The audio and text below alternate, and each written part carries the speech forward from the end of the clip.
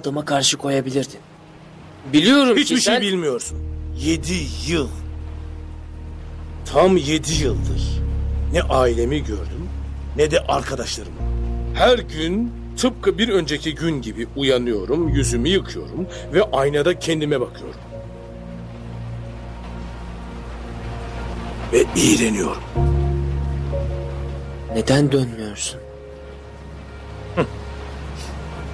Babamla yüzleşmek için?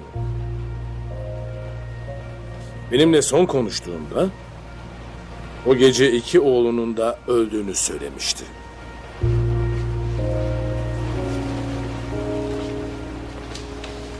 Buna sen de inanıyorsan... Demek ki o haklı. Pes etmişsin. Bazen bir şeye son vermek için istemediğin bir şey yapman gerekebilir. Sen onun affetmesi için savaş...